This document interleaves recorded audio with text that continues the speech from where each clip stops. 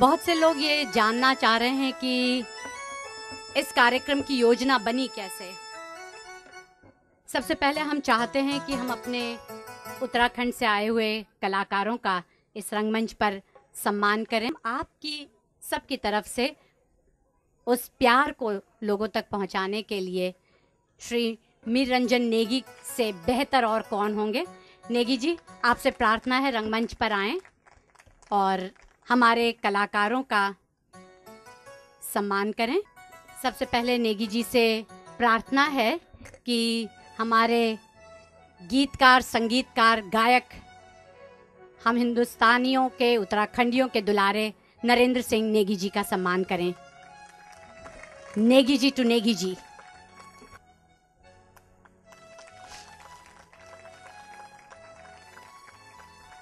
धन्यवाद नेगी जी।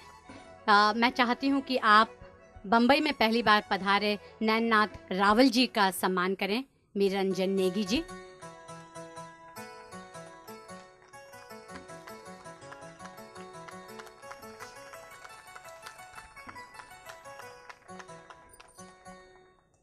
बहुत से लोग हमसे ये जानना चाह रहे हैं कि उत्तराखंड का ये कार्यक्रम इस कल्चरल सेंटर में किस तरह है।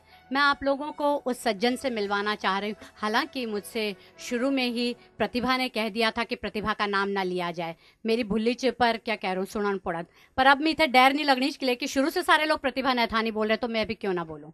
तो शुरुआत इस तरह से हुई थी। प्रतिभा बरसों से चाह रही थी कि नेगी जी का एक कार्यक्रम यहाँ पर होना चाहिए।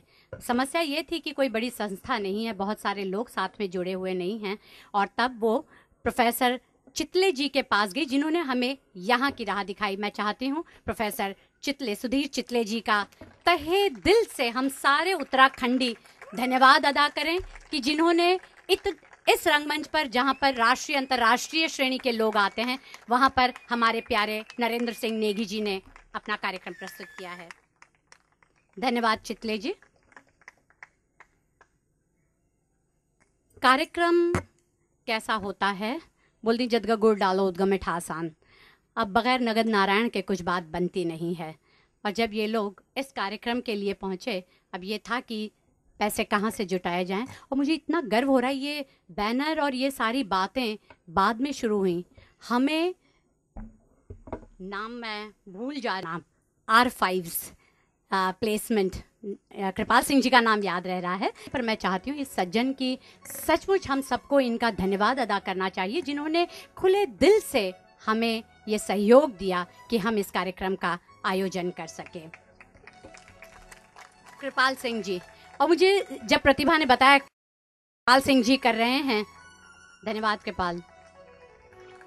तो मैं ये सोच रही थी कोई बुज़ुर्ग व्यक्ति होंगे जिनके दिल में अपने पहाड़ों के लिए ये प्यार उमड़ा होगा। इस नौजवान को देखकर इतना अच्छा लगा। चलिए परंपरा निभ रही है इस मुंबई में। बहुत से कृपाल सिंह जी आए और इस तरह के कार्यक्रम होते रहें। धन्यवाद कृपाल सिंह जी। और अब आ, मैं धन्यवाद तो ललित शाह जी का भी देना चाहती हूँ जिन्होंने जो इसके करता धरता हैं।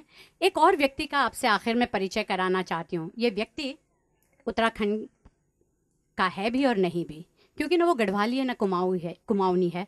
पैदा कोटद्वार में हुआ है, कोटद्वार में रहा, फिर यहाँ मुंबई में आ गया। आप लोग उसे सिर्फ़ इंटरनेट के ज़रिए जानते हैं, आप उसे एसएमएस के ज़रिए जानते हैं, पर इस प्यारे से व्यक्ति ने, यानी लगातार प्रतिभा के पीछे दीदी चलो करते हैं। और जब दो एक तरह की सोच वाले लोग मिल जाएँ तो काम सफल हो जाता है। जिनका नाम नरेंद्र सिंह जी भी ले रहे हैं, ये व्यक्ति हैं रजनीश अग्निहोत्री। रजनीश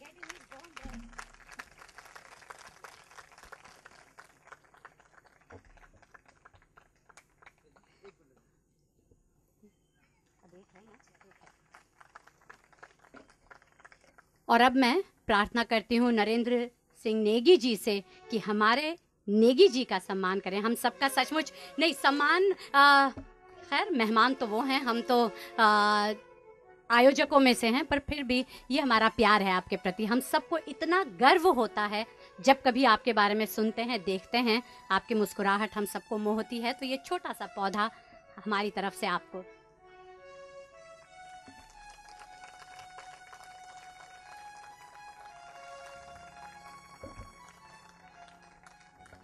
और नेगी जी, आपसे प्रार्थना है, अगर आप अपनी तरफ़ से कुछ कहना चाहें प्लीज़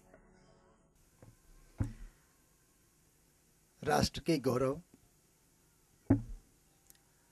और हमारे उत्तराखंड की शान, आदरणीय श्री नरेंद्र सिंह जी नेगी। नरेंद्र सिंह जी रावल घरानगंज साहब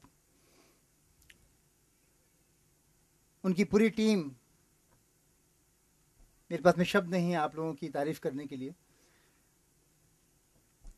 मेरी छोटी बहन प्रतिभा और उनका पूरा परिवार और एक इंसान जिसे मैं अपने बेटे जैसा समझता हूँ, रजनीश अग्निहोत्री।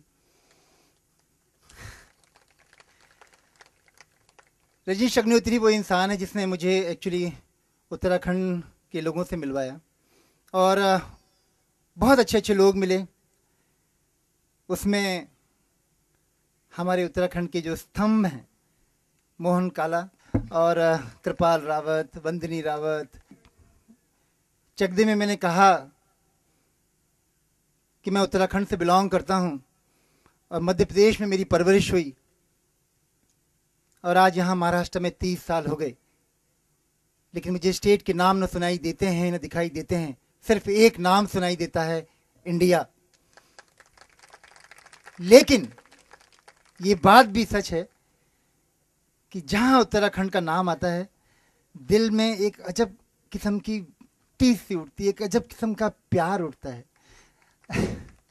और हमारा उत्तराखंड जो है वो हमारी सादगी, हमारी ईमानदारी और हमारी मेहनत के लिए जाना जाता है। और नेगी जी के गानों में ये सारी बातें जो हैं, ये साफ़ झलकती हैं। नेगी जी वो इंसान है जिन्होंने अपने गानों की, गानों से गवर्नमेंट गिरा दी। उन्होंने हमारे उत्तराखंड को एक अलग पहचान दी। न सिर्फ़ भारत में, पूरे विश्व में पहला नाम अगर किसी के पास में कोई उत्तराखंडी का आया तो वो था सिर्फ़ नरेंद्र सिंह नेगी जी का। और अगेन रजनीश की वजह से उनके एक गाने पर उनकी एक सीडी पे मैंने डांस भी किया। लेकिन उनसे मिलने का उनकी वाइफ से मिलने का मुझे पहली बार मौका मिला और इतने अच्छे इंसान इतने अच्छे इंसान। मैं ईश्वर का बहुत बहुत शुक्र अदा करता हूँ कि मुझे उन्होंने ऐसे इंसान से मिला है। आ, आप लोग इंजॉय करो मैं थोड़ा सा भावुक हो रहा हूँ। चक दे उत्तराखंड।